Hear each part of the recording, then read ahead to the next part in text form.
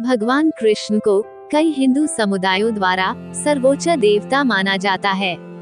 पौराणिक कहानियों में उन्हें अक्सर एक ईश्वर बच्चे, मस्खरा, एक आदर्श प्रेमी और दिव्य नायक के रूप में चित्रित किया जाता था, जो एक मंत्रमुग्ध करने वाले व्यक्तित्व को दिखाते थे। भगवान विष्णु के, भगवान कृष्ण के अवतार के दौरान उन्होंने मानव जाति को कई सबक दिए।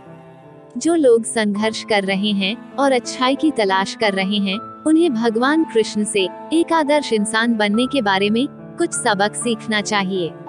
यहाँ छह अद्भुत गुण हैं, जो हमने भगवान कृष्ण के शानदार जीवन से एकत्र किए हैं। एक, हमेशा आवाज़ उठाएँ और महिलाओं की रक्षा करें। जब भी आप देखें कि महिलाओं को वस्तु के रूप में इस्तेमाल किया जा रहा है, सामग्री के रूप में इस्तेमाल किया जा रहा है या छेड़छाड़ की जा रही है तो आपको खड़े होकर विद्रोह करना चाहिए। महाभारत की कहानी, अगर आपको याद हो तो जब कौरवों ने पूरे दरबार के सामने द्रौपदी को नीचा दिखाने की कोशिश की तो कृष्ण द्रौपदी के लिए खड़े हो गए। उसके अपने पतियों ने उसे एक ऐसी संपत्ति के रूप में सोचा, जो उन्होंने एक खेल में खो दी है, और विरोध करने के लिए एक पेशी नहीं ली। यह कृष्ण ही थे, जिन्होंने दृश्य में कदम रखा और उन्हें एक साड़ी भेंट की दो, जिसे आप प्यार करते हैं, उसे कभी न छोड़ें।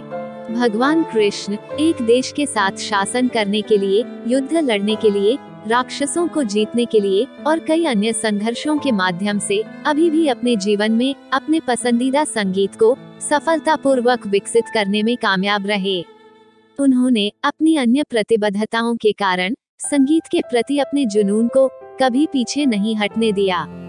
उन्होंने अपनी बांसुरी वादन का भरपूर आनंद लिया, जीवंत धुनों से सभी को मंत्रमुग्ध कर दिया। तीन, एक सच्चे दोस्त बने। प्रतिस्पर्धा की इस क्रूर दुनिया में रिश्ते हमेशा पीछे छूट जाते हैं। लेकिन भगवान कृष्ण की कहानी कि कैसे उन्होंने अपनी दोस्ती को बहुत प्यार और सच्चे स्नेह के साथ महत्व दिया, आपको दोस्ती के कुछ प्रमुख लक्ष्य देता है।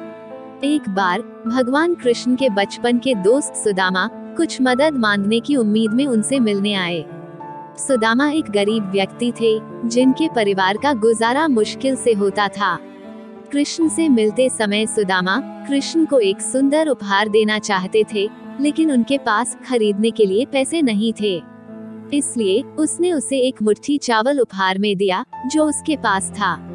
ऐश्वर्य पूर्ण होने के बावजूद भगवान कृष्ण ने इसे इतने हर्षोल्लास के साथ स्वीकार किया।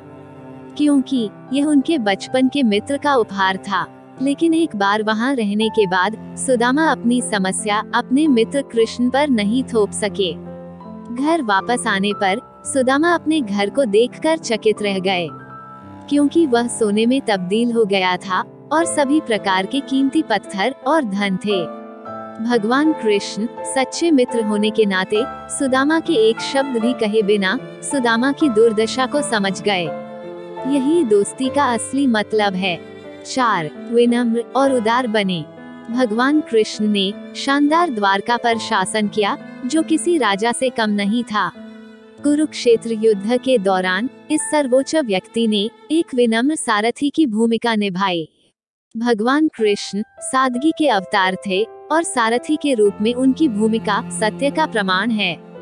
इसी तरह व्यक्ति को भी अपने जीवन में विनम्र होना चाहिए। यह आपको वास्तविक लोगों के साथ वास्तविक संबंध विकसित करने में मदद करता है। पाँच, अपने आप को नीचा मत देखो। कभी भी अपने आप को नीचा मत देखो। लोग आपके बारे में जो कहते हैं, उसे आपको हीन महसूस कराने की अनुमति न दें। आप अपने तरीके से अद्वितीय हैं। जब भी आप अपने आप को सहज रूप से आंकते हैं तो हर बार आप अपने आत्मसम्मान पर गंभीर प्रभाव डाल रहे होते हैं। छह माता पिता के प्रति कर्तव्य। कृष्ण, एक शिशु के रूप में अपने जन्म माता पिता से एक छोटे से गाँव गोकुल में सुरक्षित स्थान पर ले जाया गया, ताकि दुष्ट राजा कंस से उसकी सुरक्षा हो सके। उनके माता पिता को कंस के हाथों यातनाएँ झेलनी पड़ी, उनका जीवन दुखों में डूबा हुआ था। जब भगवान कृष्ण वयस्कता में पहुँचे और अपने माता पिता की सच्चाई के बारे में पता चला तो उन्होंने एक चरवाहे के रूप में अपना लापरवाह जीवन छोड़ दिया और अपनी जान जोखिम में डालकर कंस को हरा दिया। उन्होंने अपने माता पिता को कंस के चंगुल से मुक्त कराया और अपने माता पिता द्वारा अपना कर्तव्य निभाया। इसलिए भगवान कृष्ण के गुण एक व्यक्ति को अच्छा बनने के लिए पर्याप्त हैं।